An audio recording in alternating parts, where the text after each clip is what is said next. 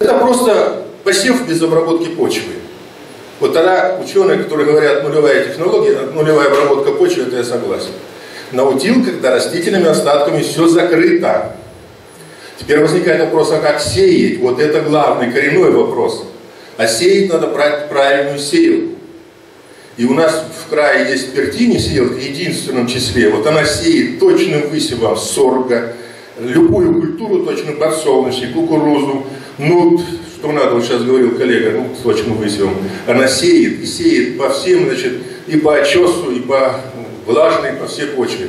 Рядная сеялка, вы с рядными работаете, проблем нет. Поэтому это в рабочем порядке мы можем обсудить и поговорить. И вот ваша модернизация, что вы перешли на однодисковый сошник, монодиск, это первый этап, я называю, считаю. Вы пройдете к другому, следующему этапу, когда вы будете брать все-таки э, тот резак или култер, и будет двухдисковый сошник со всем этим набором. Это будет второй этап вашей модернизации. Нет, но вопрос опять. Этих сеялок много. А качественно сеет единицы. Вот это вопрос самый главный. Вот эту сеялку надо найти. Если вы ее найдете, тогда вы придете как раз к второму этапу, вы и ну будете сеять точно высевом урожая получать, и вас пойдет дальше повышение урожайности. Спасибо за это. Значит, и второе, мы говорили о э, эрозии, о устойчивости к эрозии. Это очень важный вопрос. У нас пока руководство наше и э, федеральное, и краевое, и наше местное отмахивается, как от назойливой мухи. Но дело в том, что мы это наблюдали тоже, и наша статья выйдет в земледелии вот, в ближайшем номере, как наутил работает и борется с эрозией. Поверьте, очень интересная информация, и прочитайте, вы это увидите. Ну а теперь по поводу по пшенице. К сожалению, э, ну, так мы прошло, что уже посев произошел в Волгоградской области, но тем не менее. Первый вопрос, это как в любой системе земледелия, это предшественники. То, естественно, тут ничего нового нет, когда бобовые предшественники обеспечивают самое получение самого высокого урожая. Но дело в том, что в технологии наутил мы занимаемся яровыми культурами, и у нас не только бобовые, и еще больше сказать, у нас меньше бобовых, у нас более сложные предшественники. Вот особенно у нас много подсолнечника у нас в крае. И вот урожайность на уровне 4 тонны с гектара считают очень достойный урожай. И вот пшеница после пшеницы, видите, урожай снижение практически в два раза.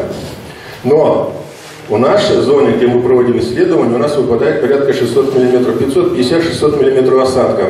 И там болезни растений, это все очень сильно влияет. И вот обратите внимание, каким образом тогда, если дальше будут работать нормально, Значит, по предшественнику сои, естественно, прекрасные посевы пшеницы. По предшественнику подсолнечник тоже хорошие, прекрасные посевы. Подсолнечник является хорошим предшественником для пшеницы, единственное, там вопрос с влагой.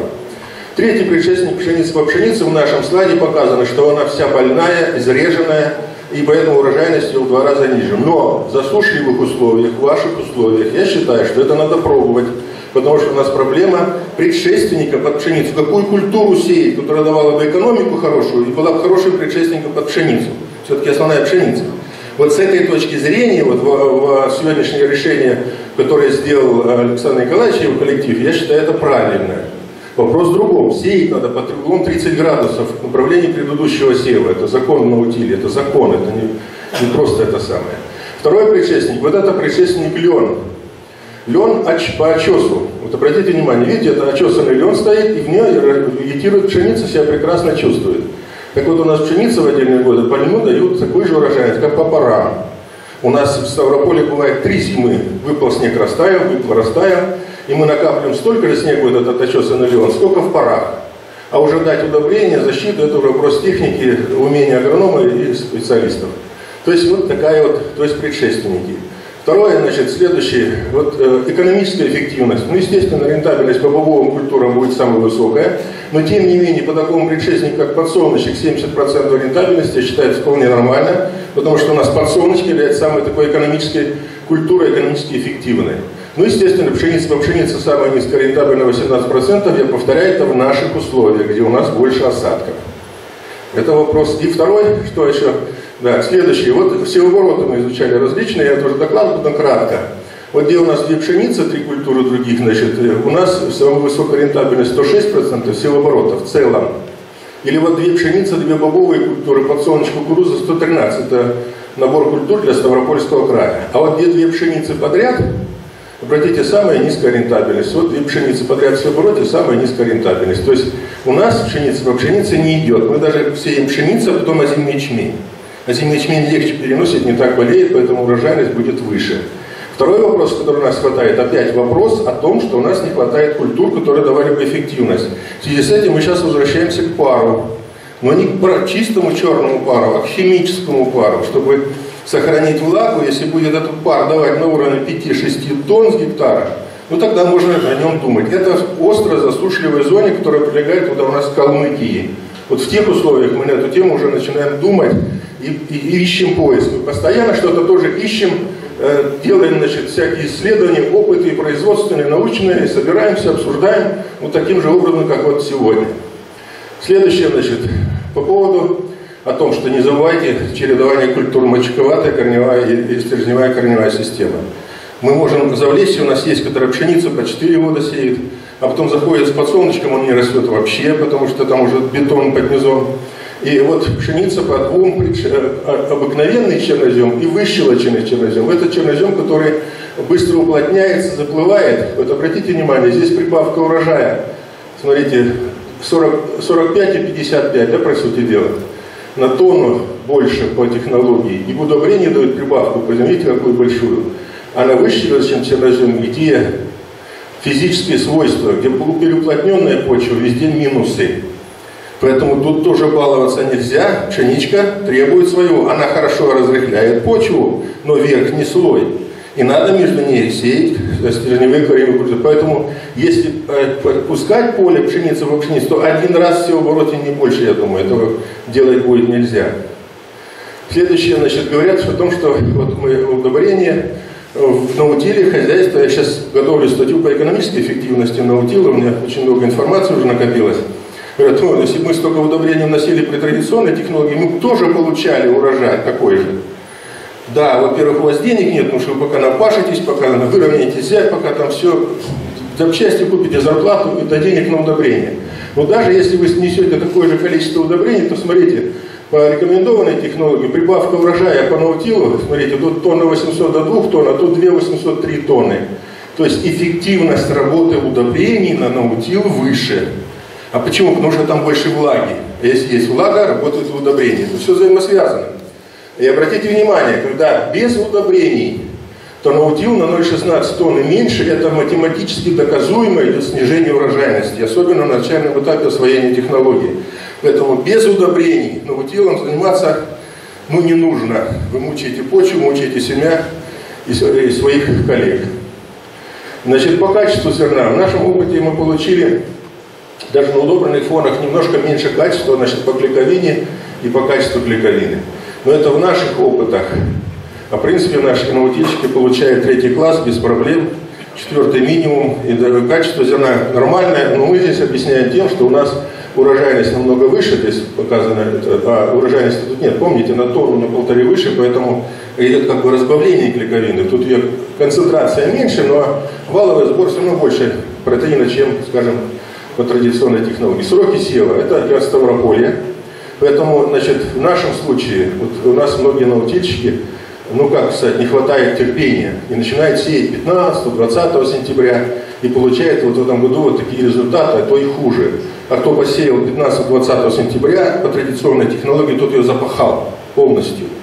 Вот, и поэтому такая ситуация. Вот 15-10 октября, ну я считаю, с 1 октября не раньше начинать сев озимой пшеницы в нашем крае. У нас закон такой. Лучше на неделю позже, чем на день раньше. И это из года в год, и не проиграешь. Вот э, состояние по удобрениям, если говорить, то вот такое должно быть темно-зеленый цвет. Это директор с урожайная. Вот он держит в таком темно-зеленом цвете при помощи э, этого жидкого азотного касс. И у него урожайность очень высокая. Я в конце покажу вам несколько слайдов. Значит, глубина заделки семян. Вот здесь опять одна фотография исчезла. Вот это у нас э, в хозяйстве, в нашем хозяйстве, смотрите, глубина заделки 6-7 сантиметров, растения слабо не распустившиеся, больные, тут плохо видно. Значит, здесь тоже 5-6 сантиметров, тоже слабое растение. Вот справа это 3-4 сантиметра, здесь вот глубина заделки. Там хорошие, распустившиеся, мощные растения, мощная корневая система. А вот эта фотография, вот это Казао Кирова, э, Песчано-Копского района, вы все знаете, помните, в феврале был семинар, я специально попросил, мне вот протяжали, видите, за глубина заделки семян? 1-2 сантиметра. А урожайность тоже, обратите внимание, они лидеры по Ростовской области два года подряд. То есть лезть в глубину посева не нужно, и мы это обратили внимание. Буквально 2-3 сантиметра она быстро выскакивает, начинает пуститься, прекрасно развивается. И что еще у пшеницы, которая, скажем, в Волгоградской области, которая посеяна в октябре-ноябре месяце. Дело в том, что когда по традиционной технологии, я просто работал в Марсе, мы это наблюдали, весной по парам темно-зеленая пшеница, значит, у нас была по софлору, по люцерне семеной мы сеяли. Естественно, вид совершенно другой, и банкинг закультивируйте, не, не позорьтесь.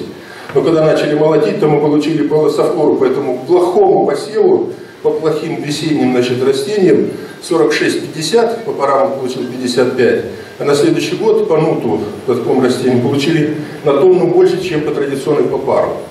Дело в том, что пшеница весной способна и пуститься, если температура на узле пущения не более 14 градусов. Так вот, если у вас растительные остатки на поверхности, они затеняют, снижают температуру воздуха, и, соответственно, идет пущение весной. И пшеничка это пустится. Вопрос второй теперь. Дать ей надо питание, защитить, и она способна обеспечить получение урожая на уровне даже чистого пара. В некоторые годы и выше. И мы это получали, видели. Парадоксально, не поверите, Анькин хотел это, а потом, когда осень пришла, мы проводили, кстати, семинар, Владимир Иванович здесь не даст соврать, мы это поля показывали вот там, в этом большом морце. То есть глубина заделки – это очень важный момент в этой технологии. Значит, тут фотография опять исчезла, значит, э, всходы должны появляться, называю, в течение часа. Вот сейчас мы проезжаем поля, допустим, паровые, видно, что зашли редки, не взошли, и так дальше. Даже редки, один зашел, другой нет. Вот здесь фотография была, когда все редки, буквально вот только-только шильца появилось еще не зеленое, а такое, знаете, желтое, жел, желтизной. То есть вот это одномоментно, нам кажется, что это без разницы. Но это очень важно. Мы легко подобрать фазы для э, э, ухода за посевами, уборки, и это очень положительно влияет на урожайность. Виктор Корнеевич, перебираем сильно. Я пару минут просил, значит, следующее, что я хотел по эффективности производства. Это данные бухгалтерии э, Буденовского района Архангельская. 3-4% при урожайности 50 центнеров с гектара, рентабельность по технологии традиционной и 23-28% по наутилу, но тут урожайность, соответственно, ниже. Этот вариант не дает жизненного перспективы, это тоже слабоватый. Поэтому технологии наутил за счет меньших затрат все-таки как бы не было. Если мы там, как считать? Скажем, кировец, я пример возьму, кировец в традиционной технологии 8-10 ну, лет, и он выходит из строя, надо... А в этой технологии кировец работает всего 2 месяца в году. И он может работать 18 лет.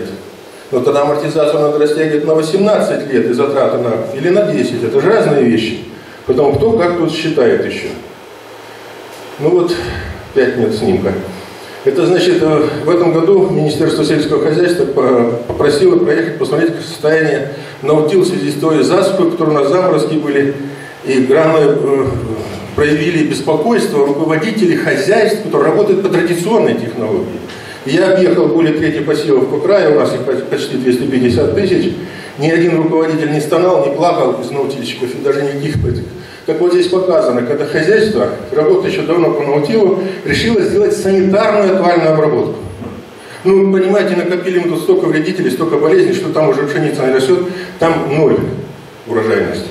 Следующее, значит, без санитарной обработки. Ну, к сожалению, вот компьютер не это самое, не, не согласился с нашим. Значит, здесь стоит пшеница, они получили 5 тонн с гектара. Ну, прекрасная пшеница стоит. Но еще раз, значит, лущение, горох, тоже решили, что залущить будет лучше.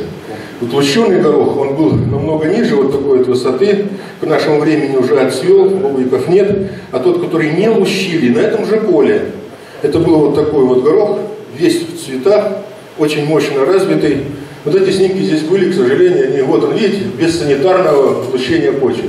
Вот этот горох намного лучше и более урожайный оказался, чем тот, который мы не это самое. Вот видите, без санитарного облучения. Видно, что вся солома лежит. А после Виктор сушеный- Корнеевич, Виктор Корнеевич Значит, поэтому и Гелопсона страшно вредить, э, сорняк. И можно, не нужно лущить, чтобы его заделать семена. Но это является уже вынужденной мерой, надо по- понимать. И вот 5 снимков нет. Вот Здесь урожайность пшеницы была 84 центнера с гектара. Это опять же в этом урожайность. Урожайном по предшественнику гречиха, а в среднем по году он получил уже два года подряд, несколько лет, 63-65 центнеров с гектара. Видели Кирова за 70.